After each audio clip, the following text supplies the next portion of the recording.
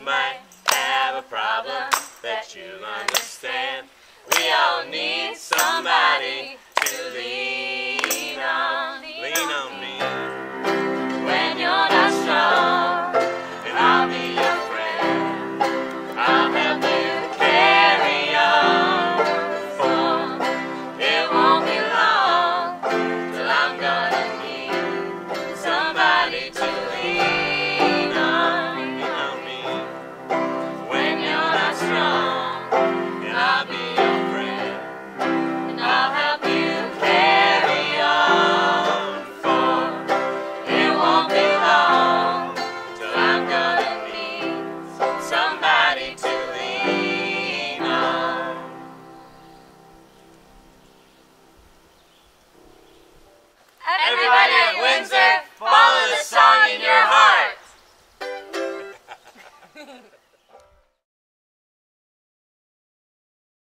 Boys